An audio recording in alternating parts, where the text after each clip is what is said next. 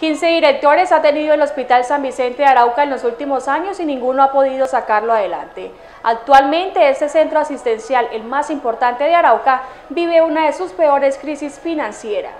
En la Asamblea Departamental se cumplió el debate sobre la crisis financiera que atraviesa el Hospital San Vicente de Arauca. Allí el director entregó un informe de la realidad del centro asistencial. Hace un año recibí la institución, en agosto exactamente, prácticamente con un 80% de los servicios cerrados, con una infraestructura deplorable, con una infraestructura en un muy mal estado, con unos pasivos muy cercanos a los 17 mil millones de pesos eh, en cuentas por pagar, eh, con unos pasivos contingentes eh, cercanos a los 32 mil millones de pesos.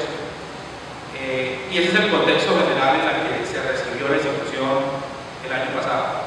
El Hospital San Vicente de Arauca viene trabajando con las diferentes áreas del centro asistencial para salir de esta crisis. Hemos venido trabajando eh, con las diferentes áreas de la institución eh, por superar esa crisis en la cual se recibió la institución, que no voy a ahondar eh, en detalles cuál es el, motivo que, que nos ha llevado allá algunos directores que han pasado por el centro asistencial han sido irresponsables en la administración del hospital. Han pasado en los últimos cuatro años 15 directores, 15, escúcheme bien, diputado, 15, que no le han dado eh, esa estabilidad que necesita cualquier institución, el diputado Nasa. Eh, no son excusas, porque yo aquí no vengo a excusar, yo solamente vengo, como he venido siempre, de trabajo eh, a dar la cara, a dar la cara y a mostrar las realidades de la institución eh, que en un gran porcentaje vienen de, años anteriores. Eh, también han pasado directores irresponsables con el departamento de Arauca.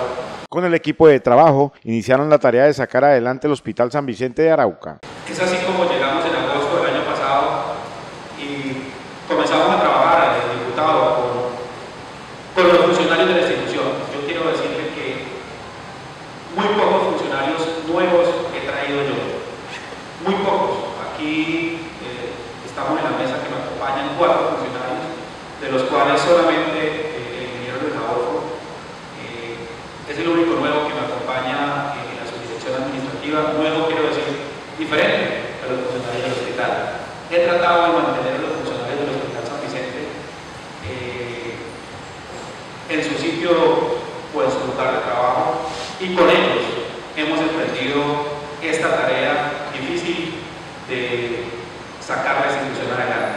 Por la dirección del Hospital San Vicente, en los últimos años han pasado 15 directores.